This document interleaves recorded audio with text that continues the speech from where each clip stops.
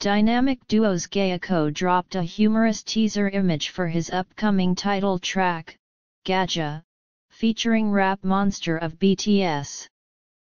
For his first solo comeback in two years and five months, Gaeko has enlisted the help of Rap Monster, a rising hip-hop artist from an idol group.